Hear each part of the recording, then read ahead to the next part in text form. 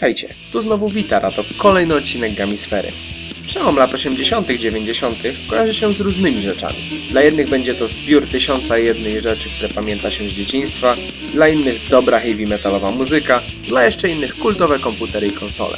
Jest jednak z pewnością jedna rzecz, którą każdy urodzony w tych czasach, bądź zaznajamiający się z tematem via telewizja internet, kojarzy. Stare, dobre kino akcji.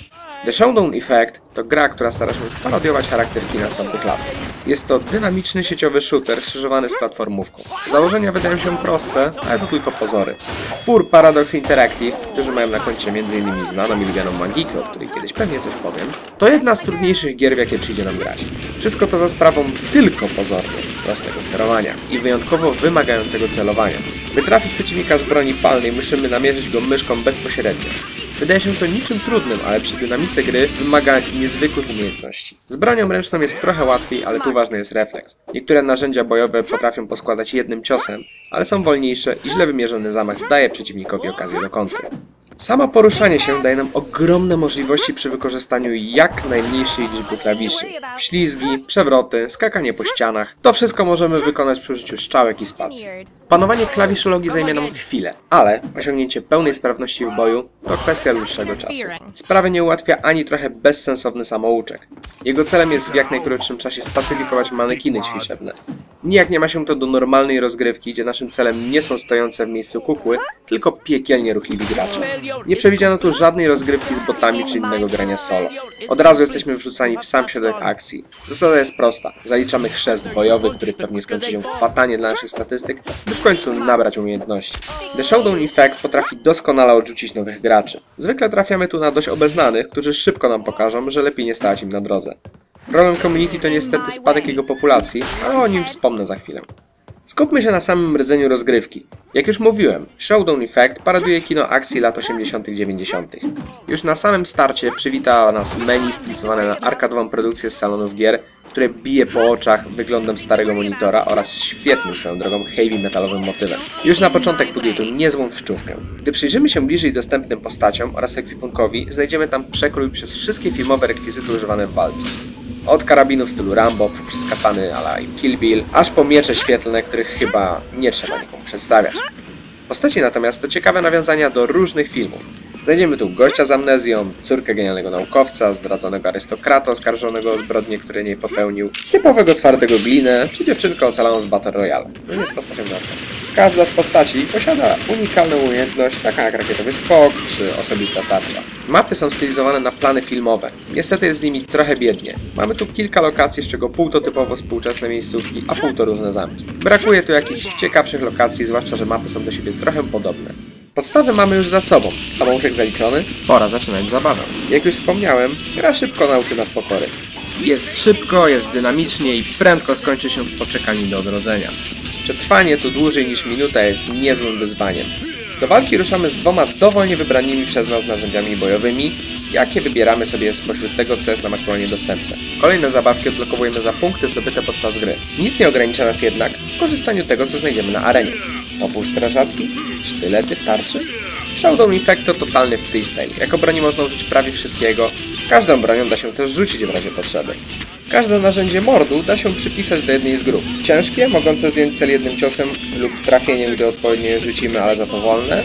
Te, które są szybsze, ale za to nie tak mocne. Oraz takie, które średnio nadają się do ataku, za to doskonale zablokują nimi ataki wroga, czasem nawet kule przez jakiś czas. Z giwerami jest podobnie. Możemy wybrać moc kosztem szybkości i odwrotnie. Mapy, mimo że zbliżone do siebie nieco w wyglądzie, zachwycają bogactwem elementów, zwłaszcza tego, czym możemy się posłużyć w boju. Są dość spore i wielopoziomowe. Ułatwieniem w poruszaniu są windy, ale mogą okazać się groźną pułapką, gdy przy wyjściu zasadzi się na nas rywal. Oczekiwanie nieoczekiwanego to jedyna słuszna droga, gdyż nigdy nie wiemy, co czeka za rogiem.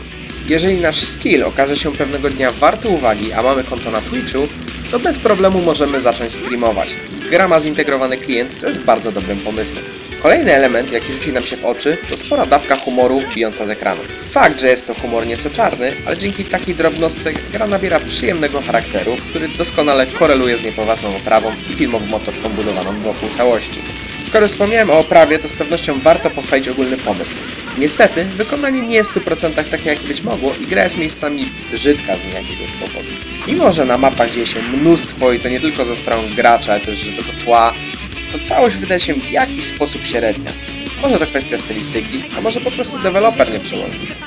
W kwestii audio jest już dużo lepiej. W tle przegrywa nam ostry rock i heavy metal, który doskonale pasuje do tego, co się dzieje i naprawdę napędza rozróbę. Nieźle jest też w kwestii odgłosów, choć nie leżą one jakością tak wysoka jak muzyka. Całkiem niezłe i czasem zabawne są też komentarze wojowników. A teraz pora na podsumowanie i oceny. Zacznijmy od plusów. Pierwszy plus to świetnie zrobiona parodia kina akcji. Dużo nawiązań, różnych smaczków, które odkrywa się podczas gry. Kolejny plus? Dużo akcji i naprawdę solidny kawał rozgrywki. To po prostu wciąga. Dalej, spory filmowy arsenał, który jest przekrojem przez większość znanych i lubianych produkcji wielkiego kina. Dalej, interesujące postaci, styl z lat 80., 90., dla streamerów jak najbardziej integracja z Twitchem oraz wspaniała muzyka. Minusy? Trochę kiepska oprawa graficzna, gra może od siebie odrzucić nowych graczy, no a samouczek jest bezsensowny. No do tego umierający community. Punktowo?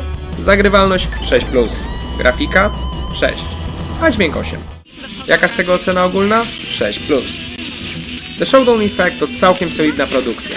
Wejście w jej świat nie jest bezbolesne, rzekłbym nawet, że jest to droga niczym na szczyt świecznika Hollywood. Gdy już się jednak wkręcimy, z pewnością spędzimy tu kilka dobrych godzin. Problem gry jest jednak inny i bardzo poważny. Mianowicie wspomniane jako minus gry wymierające community. Twórcy nie zaoferowali dedykowanych serwerów i każda rozgrywka jest hostowana przez jakiegoś gracza. Niestety aktualnie aktywne sesje policzmy na palcach jednej ręki. O rozgrywkach rankingowych możemy w ogóle zapomnieć, za mało chętnych. Ogólnie rzecz biorąc, zakup gry ciężko polecić, chyba że masz grupkę znajomych, których też do zakupów namówisz. Nie dość, że w takim gronie przyjemniej się gra, to niedługo może być to jedyna opcja zabawy. Oczywiście warto poczekać na Steamowe promocje, inaczej zakup nie jest ani trochę ekonomiczny. Obok Steama grę można nabyć również na kilku innych platformach. Obok zwykłej edycji sprzedawana jest wersja Deluxe, która oferuje nam dostęp do postaci Mizu Ichiban, dodatkowe szaty oraz kurki broni, a także inne drobne bonusy. O Showdown Effect to już wszystko. Pamiętajcie, żeby ocenić jak podobał się Wam odcinek. Pamiętajcie, żeby proponować mi kolejne gry do recenzowania. Subskrybujcie kanał, żeby być na bieżąco, a ja żegnam się z Wami bardzo serdecznie. Do zobaczenia już niedługo.